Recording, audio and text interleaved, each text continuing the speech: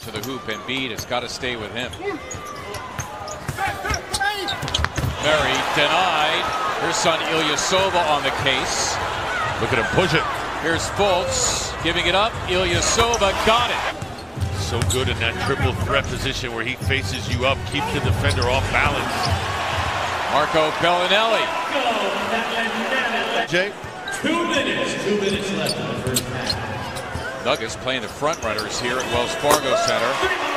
Ersan Ilyasova. I think that's where the confidence that the coaching staff has in him, it's not from just a little, it's from seeing it night in and night out, day in and day out.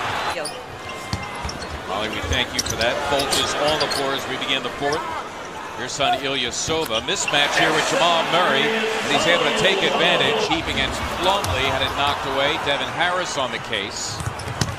Murray, who's gone for a major slam, and Fultz went up with him. Rock. Well, again, here's his length on the defensive end. Look at that play right there. Murray bringing it to him. Markelle not giving up on the play.